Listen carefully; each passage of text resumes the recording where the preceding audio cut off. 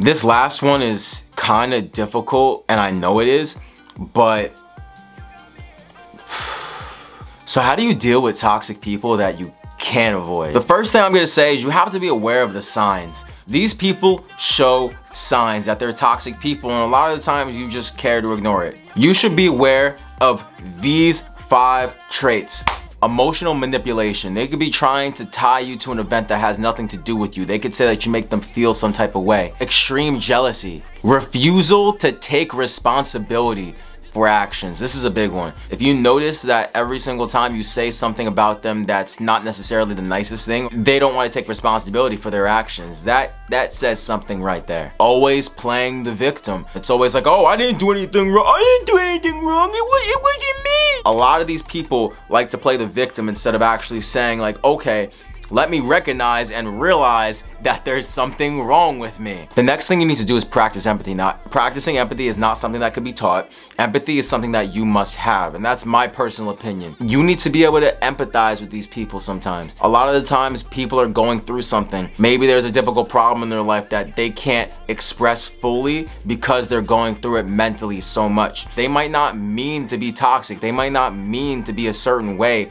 towards you but they're gonna be acting that way regardless. So empathize with these people, but don't take it in. And that's when we get into the next step. Do not engage in any drama. A lot of the times these people will want you to engage in their drama and that's because they have nothing better to do than be toxic, than spread that energy. When you include yourself into this person's drama and into these people's dramatic, traumatic lives that they're trying to suppress, but oppress onto you. It's them just trying to spread their toxicity. Stay calm, breathe, and disengage from their toxic energy and their toxic environment they're trying to spread. Always remember that you deserve better.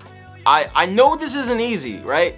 You deserve better though. You don't deserve to be around these people. You deserve to be around positive, supporting people. If you feel like these people aren't doing that for you, don't feel like, oh, well, these are just my friends. These are friends that I've had for a long time, so I can't let go of them. You, you can let go of them. Surround yourself with people who make you feel good about yourself. I've had friends myself that I would put them onto my music or I put them onto something that makes me happy and they were never supportive. They never wanted to show me love and they weren't ever happy for me. If, if anything, they were more toxic and negative and they didn't support my movement. They, they wanted me to feel bad about it in some ways. You need to surround yourself with people who are positive, giving you positive energy 24 seven. This last one is kind of difficult and I know it is, but cut them out of your life if necessary. I'm gonna say that one more time. Cut them out of your life if necessary. You don't need people who make you feel like crap. You don't need people who don't respect you. You don't need people who don't appreciate you for you and for what you love and for what you stand for. If there are people in your life who don't appreciate you for who you are, you need to cut them out of your life. It doesn't matter how long you've known that person. I've been friends with them since high school. Who cares?